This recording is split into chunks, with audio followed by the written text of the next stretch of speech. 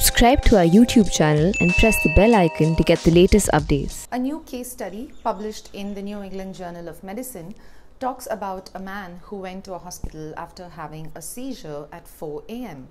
The doctors then saw him have a two minute long seizure where he lost consciousness. They started to investigate his medical history and his general health, and everything seemed fine and healthy. He didn't smoke, he drank only occasionally, and he had been perfectly fine in the days leading up to the seizures. But upon performing a CT scan of his brain, the doctors realized that he had something called neurocysticercosis, which is a parasitic disease caused by the pig tapeworm in the human brain.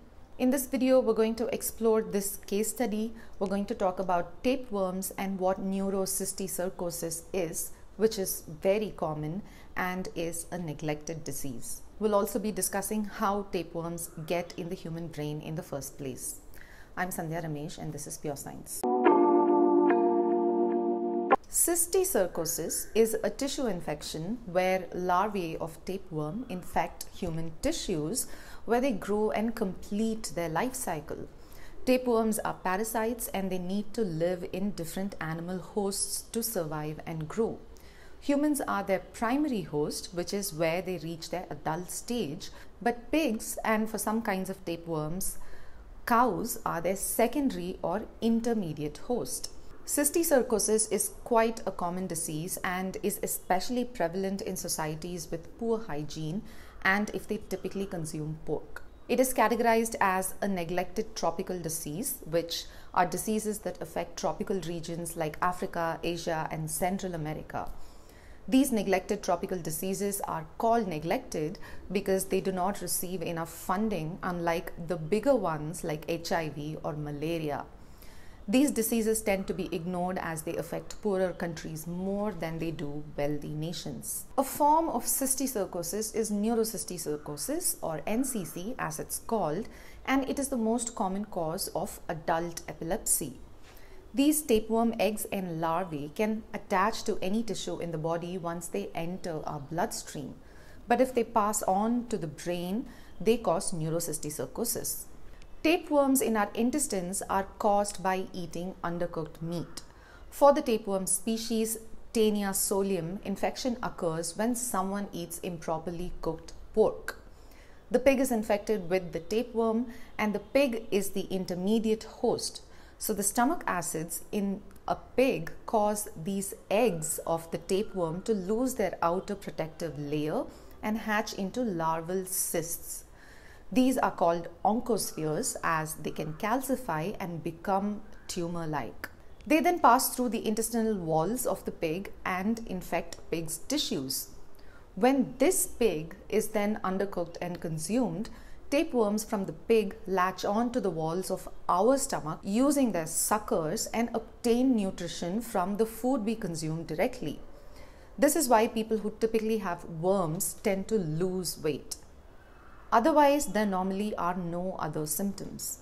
When a person's stomach gets infected by tapeworms from eating uncooked meat, the disease caused is called taeniasis. These adult tapeworms lay eggs, and the infected host, the human, excretes them in their feces. But when those eggs are consumed by us directly, it's a whole other story. People who have taeniasis excrete tapeworm eggs, and these can also be ingested by humans in unhygienic conditions.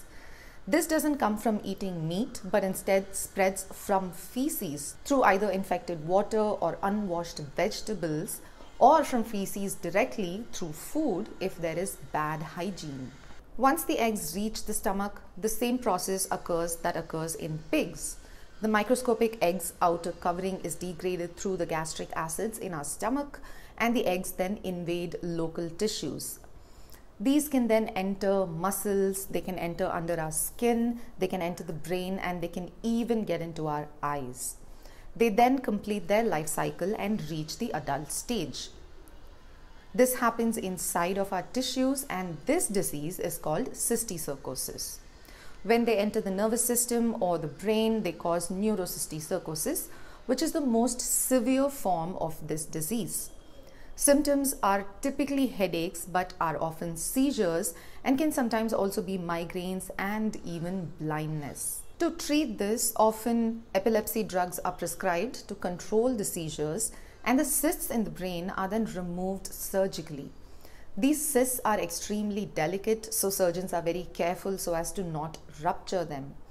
If they do indeed get ruptured, the contents can spill over into the cerebrospinal fluid, and this ends up causing meningitis. Meningitis is basically the inflammation of the membranes that cover our brains and our spinal cords. The symptoms of meningitis include fever and headache and the inability to bend our necks. It can often be fatal because it occurs so close to the brain and the spinal cord. Both neurocysticercosis and meningitis are extremely common in sub Saharan Africa, and NCC specifically is extremely common in Asia and Central America.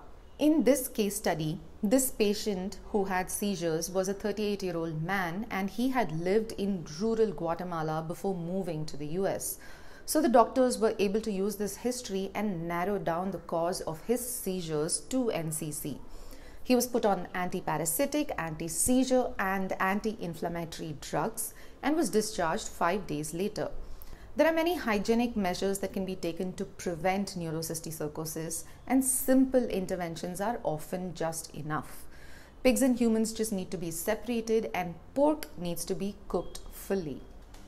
This case study is that of a relatively uncommon disease in the US comparatively, but in poorer countries, the disease is extremely common.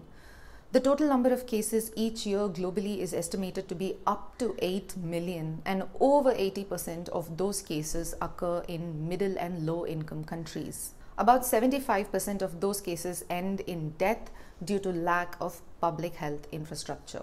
Neglected tropical diseases and underfunded diseases like this can be controlled and understood better only with increased funding.